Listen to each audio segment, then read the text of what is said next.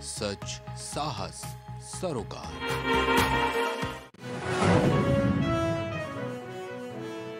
मोकामा और गोपालगंज में नीतीश के चुनाव प्रचार नहीं करने का पड़ेगा असर। सुशील मोदी ने आरसीपी को लेकर भी कही बड़ी बात।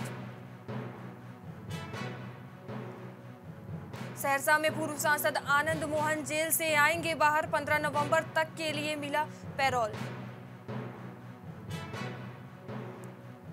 बेतिया में कुश्ती दंगल प्रतियोगिता का हुआ आयोजन। अखाड़े में पहलवानों ने दिखाए अपने दावपेच बेतिया में पुलिस की अवैध खनन पर बड़ी कार्रवाई। अवैध बालू लदे ट्रैक्टर व ट्रॉली को किया जब्त। बिहार के सरकारी शिक्षकों के लिए दो बड़ी खुशखबरी। वेतन के लिए शिक्षा विभाग ने जारी की राशि।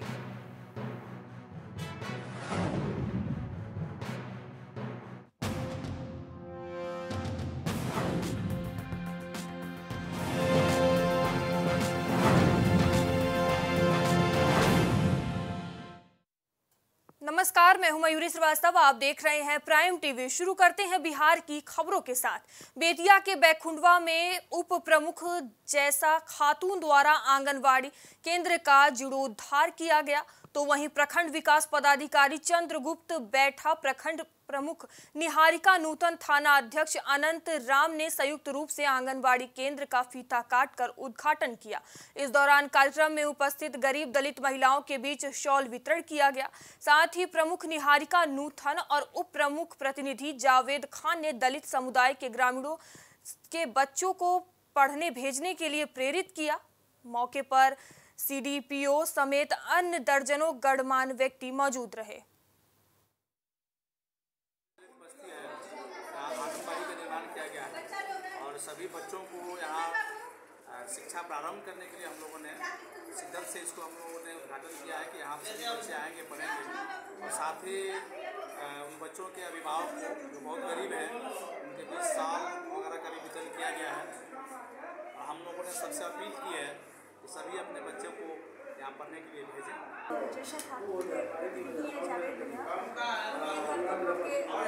द्वारा का आज हम लोगों ने यहाँ उपस्थित हमारे सभी अतिथि वीडियो साहब हैं थाना प्रभारी महोदय हैं हमारी सीनियर मैडम है, हम सबने यहाँ पर बहुत अच्छे से इसका उद्घाटन किया और सभी गरीब महिलाओं में आज शॉल का वितरण किया गया। गोपालगंज के तत्कालीन डीएमजी कृष्णया हत्याकांड में पिछले पंद्रह सालों से सहरसा जेल में बंद सांसद व कद्दावर नेता आनंद मोहन पंद्रह दिन के पैरोल पर रिहा हो रहे हैं। बताया जा रहा है कि उन्हें यह पैरोल एक पारिवारिक कार्यक्रम में शामिल होने के लिए दी गई है। वहीं इस मामले में सहरसा डीएम आनंद शर्मा जानकारी देते हुए कहा कि बिहार सरकार के जेल आईजी के द्वारा सहरसा जेल सुप्रिंटेंडेंट को पत्र आया है, जिसमें कहा गया है कि पूर्व सांसद आनंद मोहन को पंद्रह दिनों के लिए पैरोल पर बाहर किया गया है। उन्हें परिवार की कार्यक्रम में भाग लेना है, जिसके लिए पूर्व सांसद आनंद मोहन को 15 नवंबर तक के लिए पैरोल मिला है। पत्र आ गया है जेल सुप्रिंटेंडेंट महोदय को कि पंद्रह दिन के लिए जो है पेरोल पे पूर्व सांसद अन मोहन जी को जो है पेरोल पे बाहर किया गया है। पंद्रह नवंबर तक के लिए पेरोल है। और ये रीज़न जो दिया गया था वो है कि उनकी बेटी का एंगेजमेंट है। और बूढ़ी माँ है, उनको उनको देखना है इस रीजनिंग पे। ये प्रपोजल जो है सरकार के पास था। आईजी प्रिजन महोदय का कल शाम को जेल सुप्रिंटेंडेंट साहब को अंतर्राष्ट्रीय पर्यटक स्थल राजगीर में प्रकाश पर्व का शुभारंभ हुआ है। प्रशासन की तरफ़ से पर्व को देखते हुए सभी तैयारियाँ पूरी हो चुकी हैं। पर्व को देखते हुए 400 प्रवासियों के आने की संभावना जताई गई है। श्रद्धालुओं की सुविधा के लिए आवासन स्थल मुक्त ई रिक्शा का परिचालक किया गया है। साथ ही पूरे परिसर को सीसीटीवी के माध्यम से मॉनिटरिंग की जा रही है। जिला अधिकारी शशांक शुभंकर आवासन स्थल पर मेडिकल कैंप लगाकर 300 से ज़्यादा लोगों का इलाज किया। साथ ही पूरे परिसर में सुरक्षा व्यवस्था के संबंध के कड़े इंतज़ाम भी किए गए हैं। का की फतेह। ये गुरु नानक देव जी का पावन पवित्र स्थान है। पाँच सौ पचास में प्रकाश पर्व को मुख्य रखते हुए इस गुरुद्वारा का निर्माण शुरू हुआ था, जो आज जाके संपन्न हुआ है। आरा में दो दिन पहले मूर्ति विसर्जन के दौरान एक युवक की हत्या मामले को लेकर जमकर बवाल हुआ। हत्या की वारदात के बाद सड़क जाम और प्रदर्शन के बाद मृतक के परिजन व स्थानीय लोगों ने नगर थाना अध्यक्ष के खिलाफ प्रदर्शन करते हुए थाना अध्यक्ष सहित तमाम पुलिस कर्मियों का घेराव कर दिया और आरोपी एक युवक उसके घर से बाहर निकाल गिरफ्तारी की मांग कर रहे थे। इस घटना की सूचना मिलते ही मौके पर पहुँचे एसडीपीओ हिमांशु कुमार की निगरानी में आरोपी के घर की तलाशी ली गई। इस दौरान देशी कट्टा, देशी पिस्टल, ज़िंदा कारतूस के साथ खोखा पुलिस ने बरामद किया है और आगे की कार्रवाई में जुट गई है। तो यहाँ पता देखा कि कोई मारा हम लोग आए, देखा कि पुलिस आई थी, एक सिविल ड्रेस में जो इंचार्ज थे वो सिविल ड्रेस में दो महिला के साथ और चार सिविल ड्रेस में बदमाश के साथ। आए थे और ताला बंद था ताला खोल करके वो लोग खून मिटा रहे थे और वहाँ का जो हत्या कहाँ किसका मतलब खून मिटा रहे है, जो जो लड़का का हमारा जो हमारा भतीजा का मर्डर हुआ है उसी मर्डर का जो सबूत है उसको मिटा रहे थे। तो हम लोग को जब पता चला कि जब महिला और चार बदमाश के साथ पुलिस आई हुई है तो हम लोग ने आक्षेप किया कि भाई ऐसा क्यों है? है वो परसों जो सिंघी में एक घर में दो जो मूर्ति मूर्ति विसर्जन के समय जो हत्या हुई थी और इंजरीज हुई थी उसी का अनुसंधान करने के लिए जो लोग अप्रीहेंड हुए थे क्राइम सीन रिक्रिएशन एवं जो हथियार वगैरह का बरामदी और रिकवरीज के लिए उनको लाया गया था। तो एक मिसकंसेप्शन सा हो गया था कि शायद सबूत मिटाया जाए, ऐसा कुछ हो। और जैसे हमें ये सब बात पता चली तो हम लोग सब जैसा कि देख रहे हैं कि भारी पुलिस बल एवं और भी निष्पक्ष इंस्पेक्टर्स और थाना के उनको लाया गया, उनके सामने सर्च की गई, उनके कन्फेशन पर हथियार भी मिली। और भी खोखे। कौन कौन से हथियार मिली है सर? जो देसी कट्टा जिसको बोलते हैं और देसी पिस्टल है वो मिली क्रियाक्रम था। तो यहाँ पता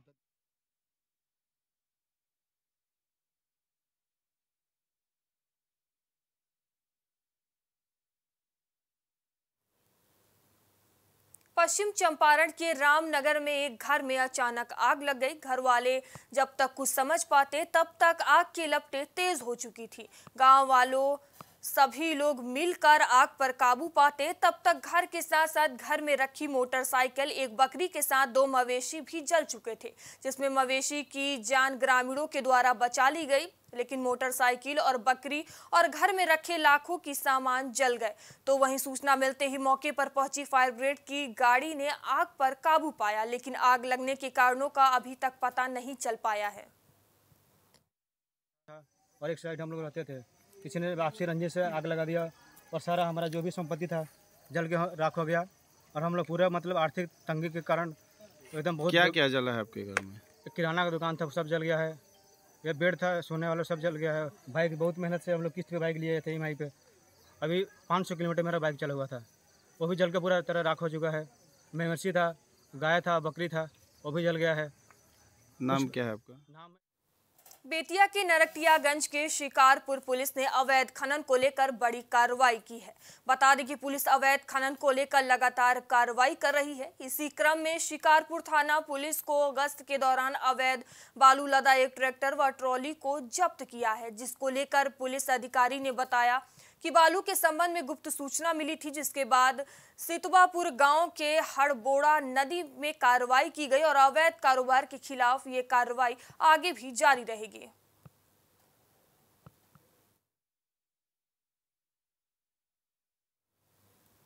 बेतिया के नरकटियागंज प्रखंड परिसर स्थित ई किसान भवन में ऑनलाइन आवेदन करने वाले किसानों के बीच अनुदानित बीज का वितरण शुरू किया गया है। प्रखंड मुख्यालय स्थित किसान भवन में तरोई का पैकेट किसानों के बीच 100 प्रतिशत अनुदानित मूल्य पर वितरित किया जा रहा है। इसके लिए ऑनलाइन आवेदन किसानों को करना अनिवार्य होगा। इस बीज को प्राप्त करने के लिए किसानों का पंजीकरण करना ज़रूरी है ताकि ओटीपी के माध्यम से किसानों को इस योजना का लाभ दिया जा सके। हर पंचायत के किसानों को इस योजना का लाभ दिया जा रहा है।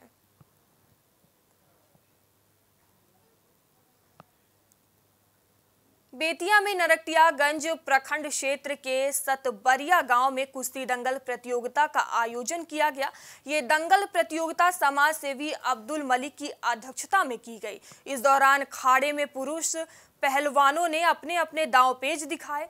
इस दंगल का शुभारंभ मुख्य अतिथि के रूप में राज्यसभा सांसद सतीश चंद्र दुबे, विधायक रश्मि वर्मा, गोंडा समाज के जिला अध्यक्ष शंभू प्रसाद के साथ अन्य लोगों ने फीता काट कर किया। कई राज्यों के दर्जनों पहलवानों ने अपना परचम दिखाया। वहीं इस दंगल के आयोजनकर्ता अब्दुल मलिक ने अतिथियों को अंगवस्त्र देकर सम्मानित किया। इस दंगल को व्यवस्थित करने में शिकारपुर पुलिस टीम के विनय कुमार पांडे सहित पुलिस बल शामिल थे। लेकिन आप दंगल करिए जम के रियाज करिए, लेकिन साथ साथ पढ़ने का भी अभ्यास करिए। चाहे भारत सरकार हो, चाहे बिहार सरकार हो, जितनी वैकेंसियाँ निकलती है, उसमें स्पोर्ट्स कोटा होता है। और उस स्पोर्ट्स कोटा के तहत जो अच्छे पहलवान होते हैं, जो अच्छे प्लेयर होते हैं, चाहे खेल किसी प्रकार उसको उसके आधार पर नौकरियाँ दी जाती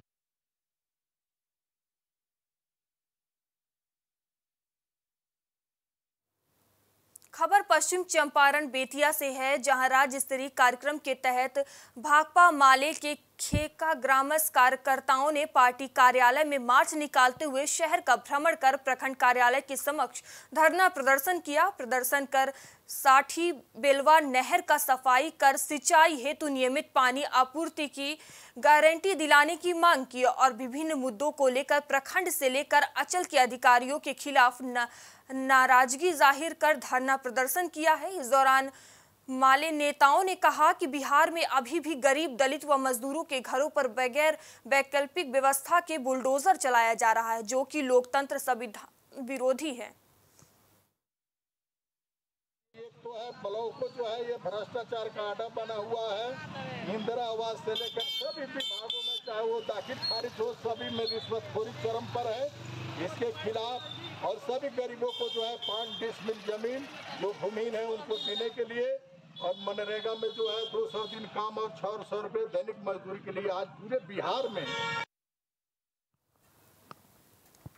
भागलपुर में पिछले दिनों हुई गार्ड हत्या के मामले में दो लोगों को गिरफ़्तार किया गया है। इसकी जानकारी सिटी एएसपी शुभम आर्य ने दी। उन्होंने कहा कि कांड का खुलासा करने के लिए सहायक पुलिस अधीक्षक नगर के नेतृत्व में एक छापेमारी दल का गठन किया गया है और सूचना के आधार पर त्वरित गति से कार्रवाई करते हुए मामले में दो लोगों को गिरफ़्तार किया गया है और इन पर आगे की कार्रवाई की जा रही है।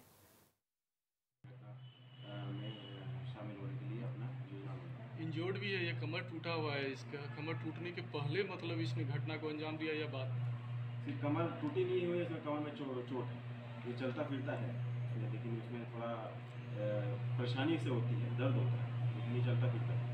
बड़ा जल्दी खुलासा हो गया कि इसमें जो टीम में शामिल लोग हैं उसके लिए कोई अनुशंसा जो भी टीम में शामिल हैं उन्हें रिवॉर्ड प्रस्ताव के लिए बड़े पदाधिकारी को भेजे। भागलपुर जिला कहलगांव शिशु विद्या मंदिर में सांसद अजय मंडल अपने लगभग 100 कार्यकर्ताओं के साथ तोड़फोड़ की और विद्यालय खाली करने का दबाव बनाने लगे। जब इसकी सूचना प्रधानाचार्य को दी गई तो उन्होंने बताया कि विद्यालय में संबंधित ज़मीन का मामला लगभग 12 साल से न्यायालय में चल रहा है। अगर न्यायालय का आदेश होता है कि वह विद्यालय खाली करे तो तुरंत खाली हो जाएगा। तो वहीं सांसद महोदय ने नजदीकी थाना कहलगांव में प्रधानाध्यापक के विरुद्ध एफआईआर दर्ज कराया है जिसमें उन्होंने बताया है कि प्रधानाध्यापक द्वारा उनके साथ दुर्व्यवहार किया गया है जिससे उनके पद एवं गरिमा पर ठेस पहुँची है। तीन सौ पैंसठ दिन काम करते हैं कंटिन्यू तो कल जो दरवाज़ा खुला इसके बाद क्या हुआ? आप क्या देखते हैं? कल जो है प्रधानाचार्य महोदय के निर्देशानुसार जो है दरवाज़ा खोलने का बात नहीं था। लेकिन हमारे आचार्य जी के निर्देशानुसार सांसद महोदय के लिए दरवाज़ा खोला गया। है सांसद महोदय के अंदर घुसने के बाद लगभग डेढ़ सौ आदमी के आसपास उनके साथ जो है कंपस के अंदर घुसा। कंपस के अंदर घुसने के बाद जो है, वो लोग जो है इस साइड से होते पूरा जो है स्कूल को जो है कवर करते हुए, घूमते हुए, देखते सुनते हुए, यहाँ तक पहुँचे इस बीच में आचार्य जी के साथ उनकी क्या बातचीत हुई, हम नहीं कर सकते हैं। इसलिए कि हम मेन गेट पे थे। ये विद्यालय जो है विद्या भारती द्वारा संचालित विद्यालय है। यह उन्नीस सौ छियानवे से सरस्वती विद्या मंदिर गौशाला का लगाव में चल रहा है। और, अपने गौशाला के नए एक सचिव बने हैं, जिनका नाम है केशव जोशी जी। और जब से बने हैं, तब से काफ़ी वो विद्यालय को परेशान कर रहे हैं। और यह जो कल की घटना है, कल एक नवंबर की घटना है छठ और दीपावली के कारण विद्यालय आठ दिनों से बंद था और दो तारीख को विद्यालय खुलने वाला था। तो एक तारीख को हमारे सभी सफ़ाई कर्मी और दो आचार्य जी यहाँ विद्यालय कैंपस में आए हुए थे सफ़ाई कार्य करवाने हेतु। कोई सहयोग नहीं मिला आपने सर उन्हें कॉल नहीं हम तो किसी जानते क्योंकि हम लोकल है नहीं हम भागलपुर से हैं और हम किसी जानते ही नहीं। हैं दस बारह पंद्रह साल से हम वहाँ विद्यालय आते हैं।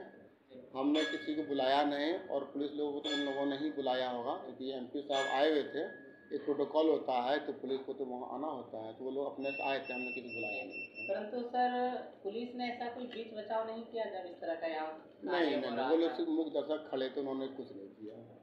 वो सर यहाँ अपने परिसर में खड़े थे या फिर बाहर ही वो खड़े रहे कुछ पुलिस लोग अंदर में थे कुछ गेट के पास से कुछ बाहर ही थे। अंदर लेकिन कोई बीच बचाव ये नहीं नहीं उन्होंने कुछ नहीं किया। नहीं। नहीं तो सर सांसद जी ने आपके भी साथ साथ कोई अभद्रता किया? नहीं नहीं मेरे साथ नहीं किया। कोई तो लड़का लोग कुछ था जो धक्का मार के हम लोग को हमको बाहर निकालने लगा? अब जाइए बाहर निकलिए बाहर निकालिए। कुछ लोग कार्यकर्ता लोग हाँ कार्यकर्ता लोग थे क्योंकि हम लोकल है ना हम तो पहचानते नहीं हैं। लेकिन हमको धक्का दे करके बाहर निकालने लगे। और हम बोले भी, अरे, इस तरह क्यों कर रहे हैं? अरे, आप लोग आए, देखिए, आप लोग तो बोले, हम भ्रमण करेंगे, देखेंगे। लेकिन टीचर को स्कूल से बाहर निकालना, ये मोतिहारी में रुपए के लेन देन में 16 साल के युवक का अपहरण हो गया। बता दें कि पताही प्रखंड के जिहुली पंचायत के सरपंच रितेश कुमार के भतीजे का अज्ञात अपराधियों ने अपहरण कर लिया। घटना के बाद परिजनों का रो रो कर बुरा हाल है। परिजनों ने मुफसिल थाने में कु- क्रीडाल कुमार सहित पाँच लोगों के खिलाफ आवेदन दिया है। इसके बाद पुलिस आगे की कार्रवाई में जुट गई है। का मोतिहारी का और तीन चार लड़का यूपी का जो पूरा इसके कांटेक्ट में है। तो क्या घटना हुई है? क्यों थाने पर क्यों आए? आने पर आए मेरे बेटे का अपहरण हुआ है। इसलिए आए हैं आवेदन दे रहे हैं। कब कहाँ और कैसे हुआ है? रात नौ तीस में हुआ है मिशन कंपाउंड में। मिशन कंपाउंड में। चर्च के नज़दीक में मेरा डेरा हुआ। नालंदा में नाच प्रोग्राम के दौरान हथियार लहराने का एक वीडियो सोशल मीडिया पर तेज़ी से वायरल हो रहा है। मामला हरनौत थाना क्षेत्र के जगतपुर गाँव का है। वायरल वीडियो में कुछ युवक स्टेज पर कट्टा लेकर नर्तकियों के साथ डांस करते देखे जा रहे हैं। ग्रामीणों ने पुलिस प्रशासन को हथियार वाला वीडियो भेजकर कार्रवाई की गुहार लगाई है तो वहीं ग्रामीणों की माने तो गाँव के ही चार युवक इसमें शामिल हैं। मामले में हरनौत थाना अध्यक्ष देवानंद शर्मा ने बताया कि उन्हें वायरल वीडियो के संदर्भ में जानकारी मिली है। पुलिस आरोपित युवक की पहचान कर उनके खिलाफ कार्रवाई में जुट गई है।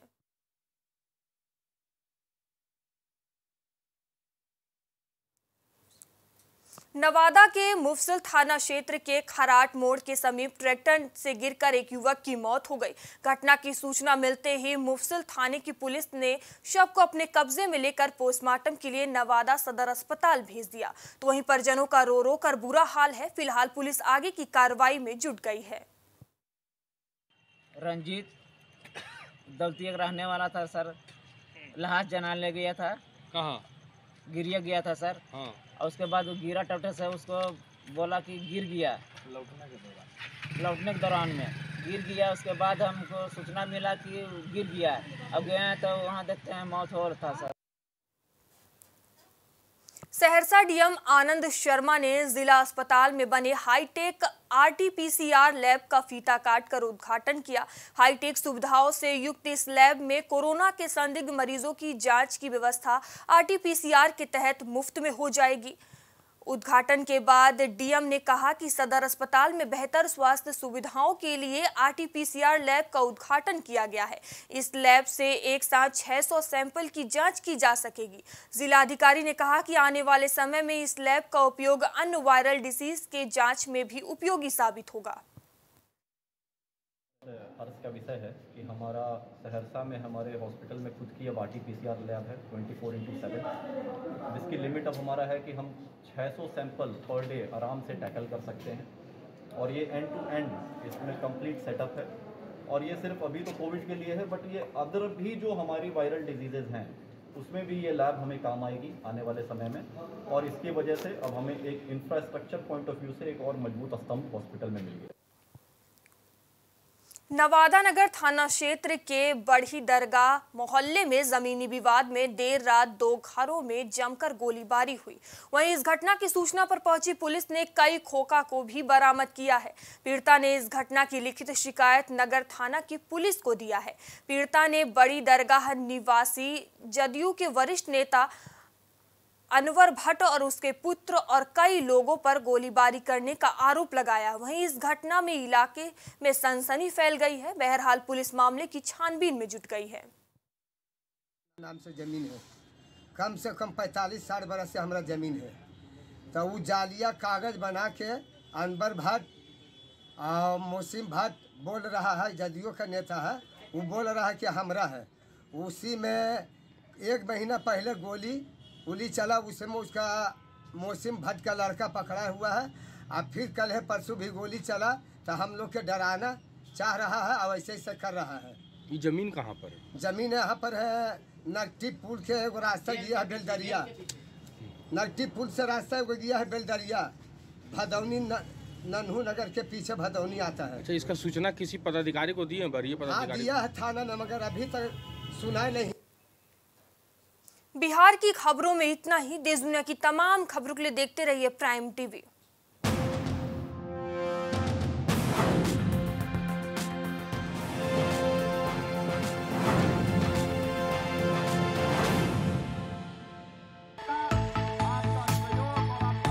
कुछ भाव पुष्प।